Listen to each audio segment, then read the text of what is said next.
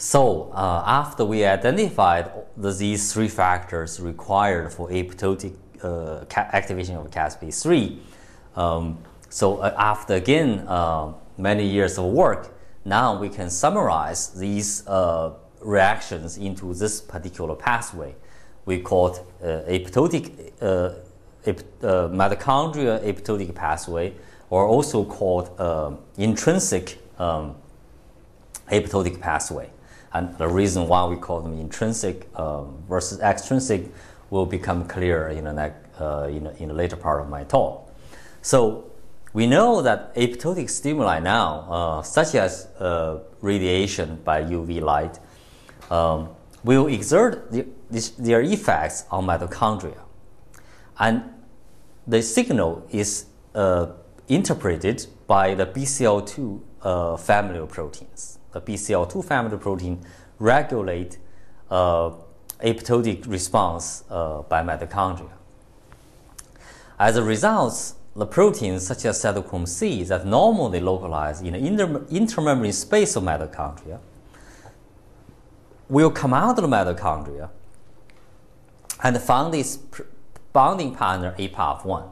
And Apaf-1 has a, a, a, a good affinity for cytochrome C. So when the cytochrome C come out of the, uh, to the cytosol, they will meet Apaf-1. They will specifically bound Apaf-1 at the, this WD40 repeat region. And in the presence of a nucleotide, um, preferably deoxynucleotide, DATP, and this cytochrome C and Apaf-1 will form this large heptamer protein complex now we call it apoptosome. The CARD domain of Apaf-1, before it meets cytochrome C, before it's formed this apoptosome, is folded in and not accessible. So after the formation of apoptosome, um, which is like this uh, wheel-like structure, um, the the CARD domains form the central ring of this wheel-like structure. And the CARD domain now become exposed and they are able to recruit the, through the card-card interaction of procaspase 9. And once procaspase 9 get recruited to apoptosome, this undergoes this auto-activation process, the, the molecular detail we still do not understand.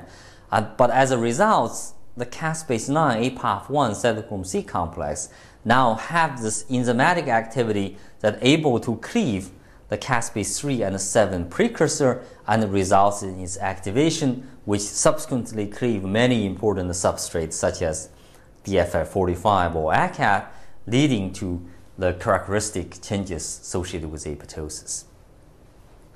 I also want to point out uh, that some of the deoxynucleotide analogs, such as 2CDA, uh, also called cladribine, uh, another one called uh, these nucleotide analogs are actually uh, uh clinically used uh, drugs that uh, for treat leukemia.